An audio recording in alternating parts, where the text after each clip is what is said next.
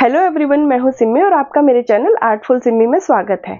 तो आज का जो वीडियो है, इसमें मैं तीन डी बनाने वाली हूँ, जो कि वुडन के वो डिस्पोजेबल स्पून्स होते हैं ना, जो ये इस तरह के होते हैं। बस इन्हीं से मैं ये डी बनाऊँगी। ये मेरे पास काफ़ी इकट्ठे हो गए थे तो मुझे आइडिया आया कि चलो क्यों ना मैं इन्हीं से कुछ बनाऊँ मतलब होम डिकोर आइटम तो आई होप आपको ये वीडियो अच्छा लगेगा। तो चलिए फिर वीडियो स्टार्ट करते हैं। और वीडियो स्टार्ट करने से पहले आपसे रिक्वेस्ट है कि अगर वीडियो अच्छा लगेगा तो वीडियो को लाइक और शेयर ज़रूर करना। और अगर चैनल को सब्सक्राइब नहीं किया हो तो सब्सक्राइब भी कर लेना और बेल आइकन ज़रूर प्रेस कर देना, ताकि मेरे वीडियोस की नोटिफिकेशन आप तक पहुँच जाए तो चलिए फिर स्टार्ट करते हैं हमारा फ़र्स्ट डीआईवाई तो ये तीनों डी के लिए मुझे चाहिए ये ढेर सारे स्पून जो मैंने ले लिए हैं। ये मैंने इधर उधर से इकट्ठे किए थे, जैसे कि कभी खाना मंगाया तो स्पून रख लिए वैसे। अब इनको मैं इसके अपर वाला साइड जो है ना, उसको कट कर लूँगी। और जो फ़र्स्ट डीआईवाई है, उसके लिए मुझे इस तरह के नाइन चाहिए तो मैंने नौ कट कर लिए हैं। क्योंकि ये मुझे तीन तीन के पेयर में यूज़ करने हैं तो इसलिए मैंने नौ कट कर लिए हैं। और इसके बाद अब मैं न्यूज़पेपर से कुछ पाइप्स बना रही हूँ। और फिर इनको मैं ब्लैक से कलर कर दूँगी। तो ये पाइप्स जो है, कुछ मुझे आठ, नौ जो है पतली वाली चाहिए, और तीन जो है थोड़ी थिक सी चाहिए। अब इसके बाद मैंने ये गत्ता ले लिया है, जो नोटबुक वगैरह में होता है ना, वो वाला। और उससे मैंने तीन हाफ़ सर्कल कट किए हैं और उनसे कुछ इस तरह की शेप बना ली है। और अब इसके बाद जो मैंने ये मोटी वाली पाइप्स बनाई थी ना, तीन, उनको ले लूँगी और उसमें से अब एक ले रही हूँ और एक के ऊपर मैं ये ऊपर वाली साइड में स्पून को पेस्ट कर दूँगी। ये स्पून को उल्टा करके पेस्ट करना है। और अब थोड़ा सा स्पेस छोड़ के जो ये मैंने हाफ़ सर्कल वाली शेप कट करी थी, इसको पेस्ट कर रही हूँ। और इसके बाद थोड़ी सी और स्पेस छोड़ के ये दो स्पून्स को कुछ इस तरह से मैं पेस्ट कर दूँगी, जैसा कि वीडियो में आपको दिख रहा है। अब जो लोग क्राफ्ट के वीडियोस देखते हैं ना, वो तो ये शेप देख के समझ गए होंगे कि मैं क्या बना रही हूँ। अब इनके नीचे की साइड में जो मैंने दो स्पून पेस्ट किए थे ना, इनके बैक साइड में मैं एक लकड़ी सी फिक्स कर दे रही हूँ ताकि ये स्ट्रॉन्ग रहे और निकले नहीं। तो इस तरह से मैंने तीनों बना लिए हैं। और अब मैं इस तरह के पैटर्न वाला कार्डबोर्ड ले रही हूँ, जो कि नॉर्मल कार्डबोर्ड के अंदर से इजीली निकल सकता है। आप ऊपर वाली लेयर निकालेंगे तो ये निकल आएगा।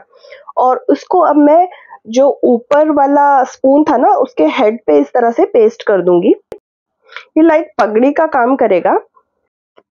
तो ये कुछ इस तरह से तिरछा करके पहले एक साइड से लगाना है और फिर दूसरी साइड से लगाना है।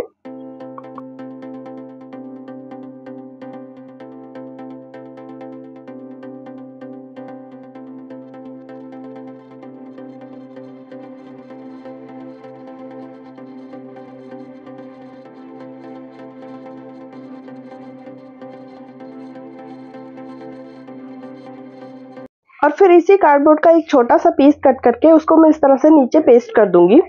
और एक और छोटा सा पीस कट करके उसको ऊपर हेड के ऊपर पेस्ट कर दूँगी।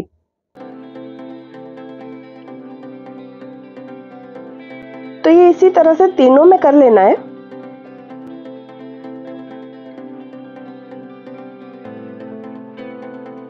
तो अब हम इसे करेंगे कलर। तो कलर के लिए ये जो मैंने कार्डबोर्ड के पीसेस इस पे पेस्ट किए हैं ना, इनको मैं ब्लू कर रही हूँ और इनके फेस वगैरह जो है, उनको मैं ब्लैक रख रही हूँ। और बाकी ड्रेसेस आप अपने अकॉर्डिंग बना सकते हैं, जैसा भी, जो भी कलर आपको अच्छा लगे। तो मैं इसमें ग्रीन येलो और पिंक कलर यूज़ कर रही हूँ। अगर ब्राइट कलर आप यूज़ करेंगे तो ज़्यादा अच्छा लगेगा। तो अब इन पे कलर हो जाने के बाद मैंने सेम वो कॉपी वाले कवर के गत्ते से मैंने ये तीन शेप्स कट कर ली हैं।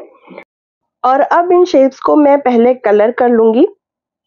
तो कलर के लिए मैं इन पे येलो और ब्राउन कलर यूज़ कर रही हूँ। तो अब ये सब अलग अलग पार्ट तो इनके बन गए हैं। अब इनको असेंबल कर देंगे हम, जिसका मैं वीडियो बनाना भूल गई या पता नहीं डिलीट हो गया, मुझे पता ही नहीं चला क्या हुआ। तो अब इनके जो बाकी की पाइप्स बची थी, उनको मैंने इस तरह से पेस्ट कर दिया है और ये जो तीन ये ढोलक और बीना वगैरह बनाई है, उनको मैंने इस तरह से इसके साथ पेस्ट कर दिया है।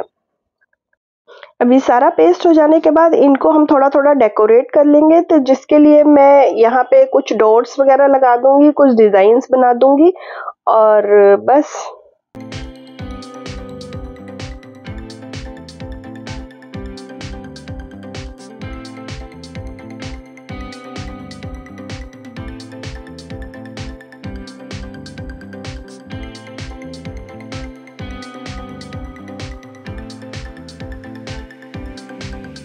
तो ये सारे बन तो गए, लेकिन अब इनको किसी सिंगल इसमें फिक्स करना है तो उसके लिए मैंने क्या किया, ये मेरे पास एक बॉक्स रखा था। अगर आपके पास बॉक्स ना हो तो आप नॉर्मल कार्डबोर्ड भी ले सकते हैं, जो कि तीन चार कार्डबोर्ड के पीसीज आप एक साथ ज्वाइन कर लें। तो अब मैं इनको, इसके ऊपर ब्राउन कलर कर रही हूँ, और फिर इसकी साइड्स में थोड़ा बहुत डिज़ाइन बना लूँगी, और इसके सेंटर में मैं तीन होल कर दे रही हूँ।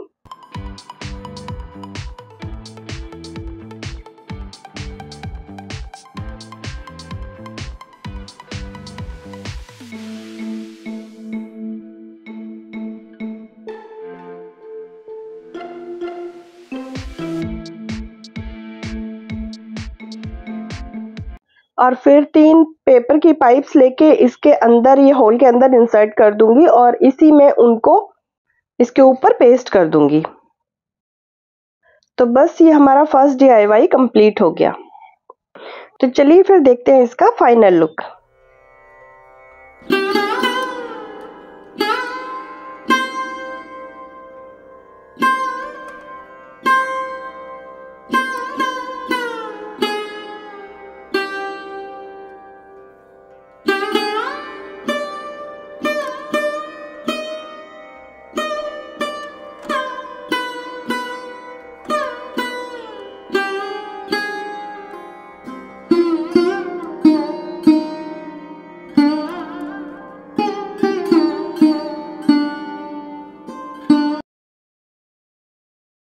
सेकेंड डी के लिए भी मुझे ये स्पून के ऊपर वाले पार्ट ही चाहिए और मैंने ये एक डिब्बा ले लिया है जो दिवाली पे बहुत मिलता है हमको रसगुल्लों के साथ।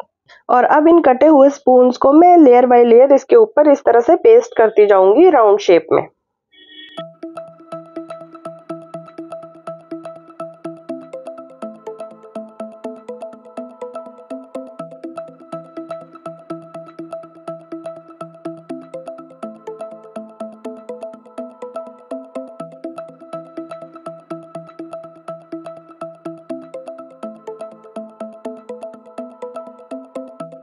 ये सारा कंप्लीट हो जाने के बाद आप इसको एज इट इज़ भी छोड़ सकते हैं बट मैं इसके ऊपर गोल्डन स्प्रे कर रही हूँ।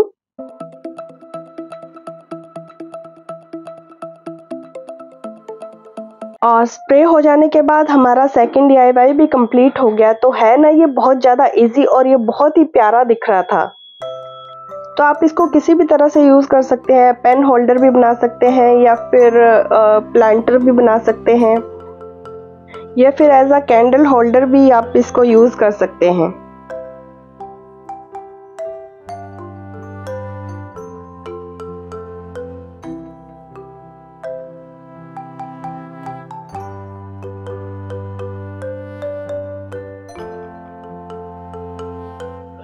तो अगर आपको वीडियो अच्छा लग रहा हो तो प्लीज़ लाइक और शेयर ज़रूर करना और अगर चैनल को सब्सक्राइब नहीं किया हो तो सब्सक्राइब भी कर लेना और बेल आइकन ज़रूर प्रेस कर देना ताकि मेरे वीडियोस के नोटिफिकेशन आप तक पहुँच जाएँ।